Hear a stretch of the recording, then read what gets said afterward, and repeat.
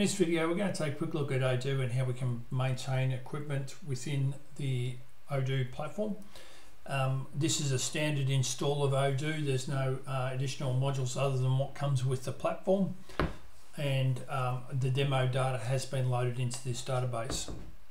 So to maintain equipment we've got a few options here. We've got um, our repairs module, our field services module and our maintenance module. All three of these modules will do go, go, go some way to maintaining equipment and they, their focus is, is quite different and I'll take you through each one of these.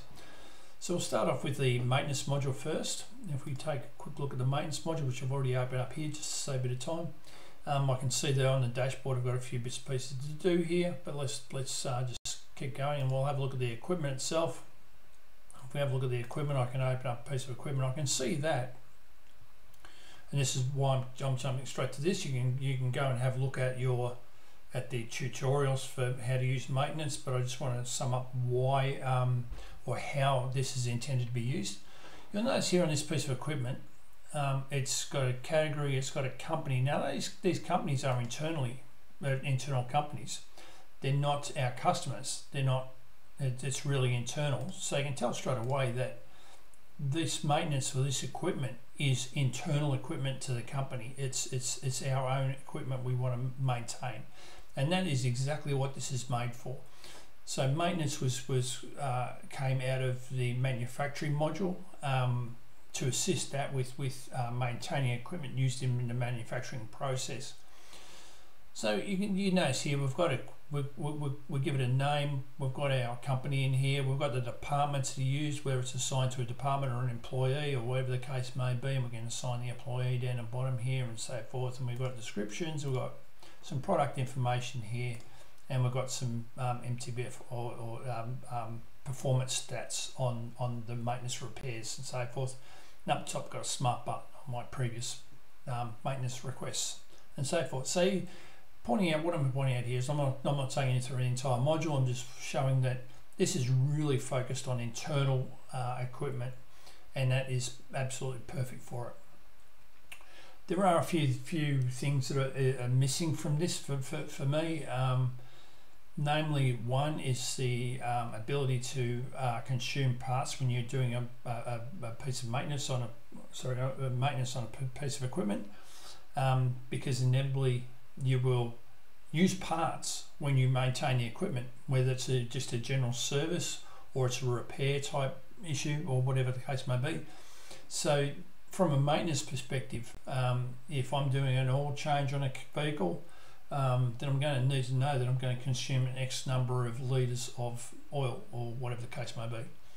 So for me that's missing here. The other thing that's missing here would be the timesheets. Like how do I record time against this particular activity? And sure I can set up a bit of a project and, and maintain um, the timesheets via a project and that sort of thing, but it's not here. It's I've, I've got to go out and do that externally and so forth. So it's not it's not front of mind. So there's, there's a couple of things here. Um, the equipment within maintenance is internally focused and it's missing the ability to consume parts and to record times. Okay, let's move on to repairs now. So repairs, you'll notice that, and, and this is again, this is what you see when you first come into the repairs module. Um, if I open up one of these guys, I can see there's a repair to be done. And when that loads, it's loading, loading, loading and now it's loaded. Um, you see this is this is now a bit more capable, but what this is it, this is aimed at the repairs module is I've sold a piece of, um, a product to a to a to a customer, and then for some reason they bought it back for us to fix it. Um, either it was under warranty or for some other reason it's, it's got to be fixed. So this is this is good. Um, so now I do have the ability to add and remove parts, so that's great perfect.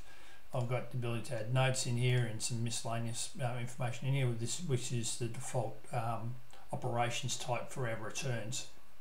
And so when we get a product back from a customer, it's going to get returned to our probably our warehouse. So there's going to be a, a return uh, coming in there, and then we've got an operation type to then go and return it back to the customer afterwards. But anyway, this this this video is not about the how to use repairs. It's just talking about what it's what it's aimed at. Um, so that, that's great. So so we've got our products to repair, um, quantities, all those sorts of things, whether it's under warranty, not, and responsible, and that sort of thing. It's great. Again, the thing that's missing from here is where do I record my times my, against um, the, if I'm going to be doing this work to repair this module, where do I record that? Again, I could go out and create a project and then have timesheets within one of the tasks within the project, but it's it's it's it's it's a cumbersome way to get around it. Um, it'd be much better just to have my timesheet as, as a tab here in in the, in the notebook down the bottom. So that's it's that, that does go some way, but again, this is aimed at a product I've already sold. So what about a product that I haven't sold, that's not really in my inventory, that I don't want to maintain as a product within my inventory because it's really uh, belongs to the client and so forth. So the next thing we're going to have looked at is the field services. So within field services, I I'll open up one of these guys so we can have a look at it and do a big comparison on that one. And once this loads, I now have my field services and this does have description, it does have timesheets, it does have even have subtasks. You can see it's actually got a link into the projects area here, which is great. This is out of the box. I do have my ability to consume products in here. So this is good. I can even add them to a sales order and so forth if I if I need to for this this field services. So this this is great. This goes a long way um, to to to being able to maintain a customer's equipment without us necessarily having the entire um, product within our product catalog. And and really, do we really want to have our product catalog full of all of our customers' equipment um, that we don't sell or otherwise look at? Um, so, so this will do that job.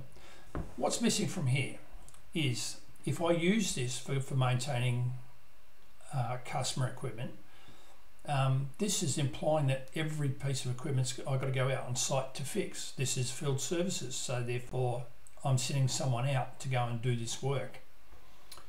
So that's mm, not always. Sometimes they're going to bring it in and we're going to do a repair on it um, internally.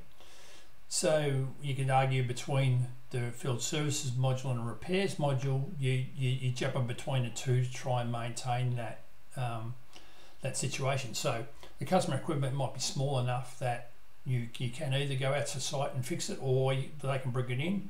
Um, sometimes the equipment's too big to bring in or fixed and you can't bring it in, so you've got to do a field service to maintain it. Um, other times you might and always have them bring in the, the, the, the, products. In which way, somewhere between a field service and repair module, you kind of get around um, being able to, to maintain the equipment.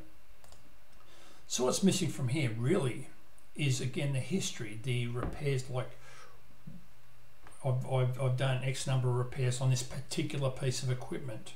Um, there's no way to really track that here. Um, I can put some maybe some tags in there, but I don't want to end up with a you know, thousands of tags for each piece of customer equipment. I want some way, and also I want to be able to produce some sort of report to see I've, I've got my service history here. I can see all of the things that have been done with this particular piece of equipment. Now you can imagine how, how important that would be to who's our customer here, Nicole.